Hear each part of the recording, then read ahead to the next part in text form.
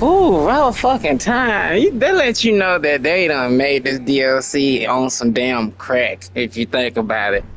Cause bro, look at all the summoners I had to use just to get his big butt down.